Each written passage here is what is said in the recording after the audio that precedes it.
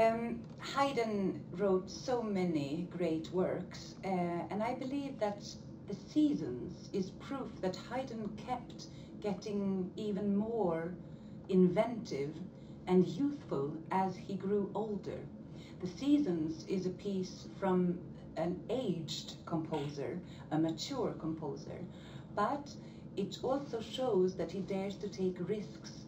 It's very inventive, it's quirky, and it's fun. So there is humor and joy in there.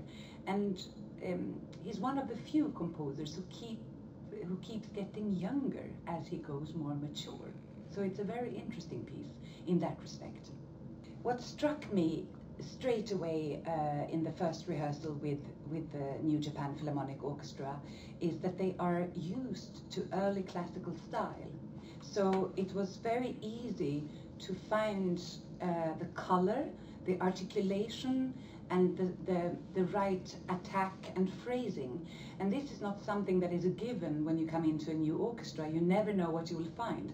So it was wonderful to see very reactive musicians and very refined and elegant playing.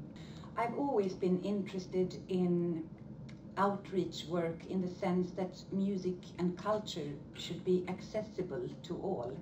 So this is something that I work a lot with every day. When I'm at the BBC in London, we think about this a lot, and at the French radio as well. I think that uh, we as musicians have this as a mission to bring music and culture to everybody. And for children, this is vital because it's when you're young that you can get in contact with music for it to change you.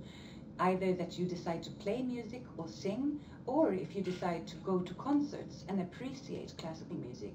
And in my work, I think the direct impact is that working with children and outreach project, it makes me feel useful.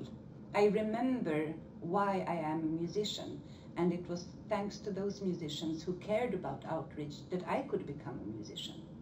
Um, I'm very delighted to be here. Uh, it's uh, an honor and a privilege, and I hope that this concert will bring joy and beauty as well as uh, strong reactions uh, from the audience. So we just hope to prepare the absolute best concert that we can.